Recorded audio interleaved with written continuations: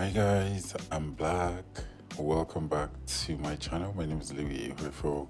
So in today's video, I'm going to be showing you how I edit my covers for my Instagram pictures and sometimes I use some of these pictures for my flyer. So we're going to be learning how to get like a clearer quality picture. So if it sounds like something you'd be interested in, please keep on watching. So I had to do a screenshot because I usually use screenshots. So I just drag the video and pick like the nice parts from the video that I actually like or that are befitting for picture purpose. So after doing the screenshots, I'm going to go back and then look at these pictures. So now you're going to look at this picture with the eye of a creative and also pick a picture that will sell the look from the hair to makeup to the outfit. So I already picked one and this is my other phone. I usually use this for my edits, invoices and all of that. Then first thing I'm going to go to the retouch on Facetune. By the way, we're using Facetune today. So I'm going to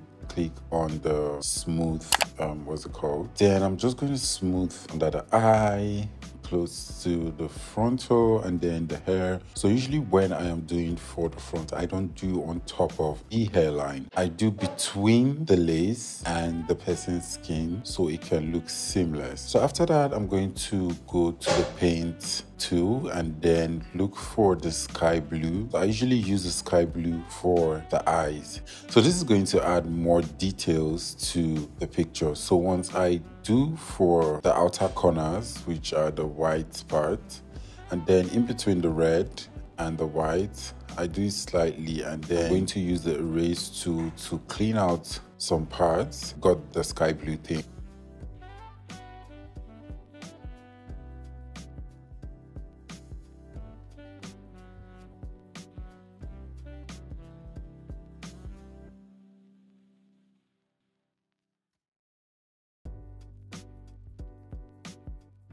Then once I'm done, I'm going to go back to paint and then click on the blush area and then use the skin tool to find the blush. So sometimes I like to add on the forehead so it blends with the model's or the client's face.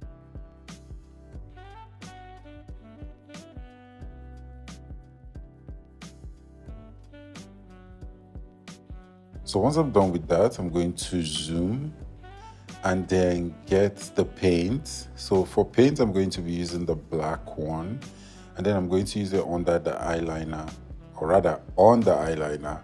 So I'm going to click on the erase tool and then reduce it so it's not too broad. Then I'm going to repeat the same thing for the other part. That's the left eye or the right eye, whichever one is facing you. So once I'm done with this, I am going to save it. So usually I don't just leave it to the end. If you watch the video, you see that most of the percentage I use is um, 40, 30 to 40. So I don't let it go past that so it doesn't look too plastic. I just added black to the hair and I'm going to reduce it so it's not too black or too brown. So this just helps define the hair. So now I'm going to do for her outfit. We don't want the, the body popping and the outfit is looking dull.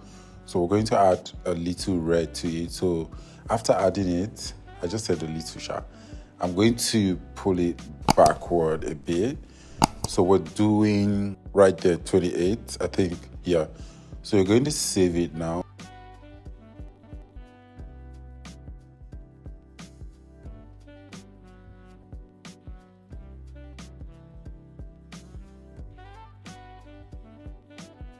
And then once you're done you're going to go to the details in the retouch too and then use it on the eyes then use it on the hairline. So this just helps accentuate or rather define the eyes and the hairline. So now i'm going to crop the picture. You remember i made a screenshot earlier so then after that, I'm going to go back to the edit one and then add color. So now it depends on your picture. So don't say I used 30% here in my picture. You want to keep using 30%. Come on. My light setup is different from your light setup. and we both have different backgrounds you get so try to do something that fits that picture so i'm going to click on the blur or rather focus um, and then I'm going to do for the background and then I'm going to erase you know the parts are close to the ear sorry the hair and the ear yeah. So then after that I'm going to go back to edit and then use the vignette tool. And then once I'm done I'm going to erase the skin so it doesn't look too dark because we don't want it to look different from the face. So you guys this is what it looks like. So now i'm going to save and then send to my other phone and then post. By the way i made a video on how i edit um, my reels for instagram and sh um, short form and for tiktok. If you've not seen that video i'm going to leave it up there. So go check that video. If you're new to this channel hello there. Sorry i was supposed to do this before but I just wanted to go straight to this video so I don't take so much of your time. I hope you enjoyed this video and it was really insightful. Don't forget to share with your friends. And um, is there anything you'd want to see here on my channel? Don't forget to leave it in the comments. And I promise you guys, I am going to come through. I love you all to the moon and back. And I'll see you next time. Bye-bye.